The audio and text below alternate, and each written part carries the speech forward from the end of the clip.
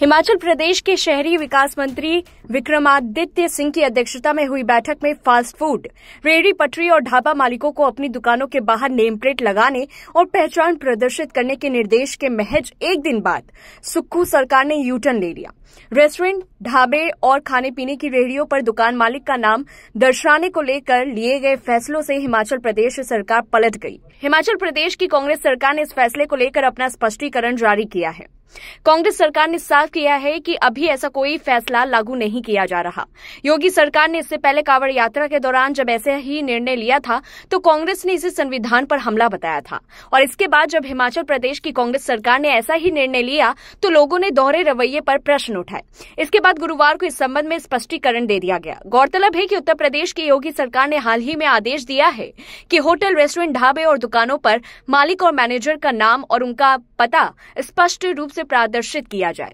इसके अलावा सरकार ने आदेश दिया है कि रेस्टोरेंट होटल में सब कहीं सीसीटीवी भी लगाए जाए। कांग्रेस के हिमाचल प्रदेश प्रभारी राजीव शुक्ला ने आज कहा, कल मैंने हिमाचल प्रदेश के मुख्यमंत्री सुखविंदर सिंह सुक्खू से बात की थी। स्ट्रीट वेंडर पॉलिसी पर विचार करने के लिए संसदीय कार्य मंत्री हर्षवर्धन चौहान की अध्यक्षता में एक समिति बनाई गई। इसमें कहा गया है कि जो भी व्यक्ति बेचने के लिए विभिन्न स्थानों पर अपना ठेला लगाता है, उसका लाइसेंस बनाया जाए। उसे नियंत्रित किया जाए ताकि पुलिस उसे भगा ना सके।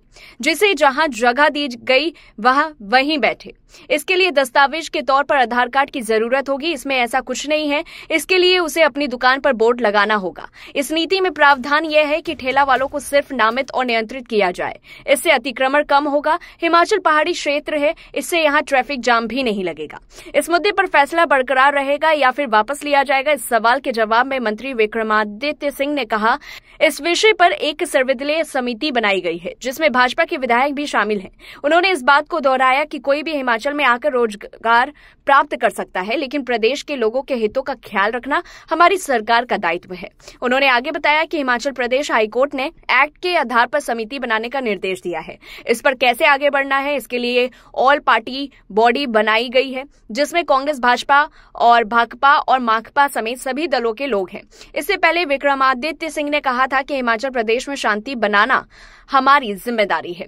यहाँ पर बारी लोगों का स्वागत है, लेकिन प्रदेश की आंतरिक सुरक्षा, कानून व्यवस्था और स्वच्छता रखना हमारी ज़िम्मेदारी। इसके लिए फ़ूड वेंडर्स का आइडेंटिफिकेशन कराया जाएगा और उत्तर प्रदेश की योगी सरकार के फैसले से इसका कोई लेना देना नहीं है। इस पूरी रिपोर्ट को लेकर के आपकी क्या कुछ राय है, हमें कमेंट बॉक्स में बताएँ। तब तक लिए देखते रहिए लाइव टीवी न्यूज़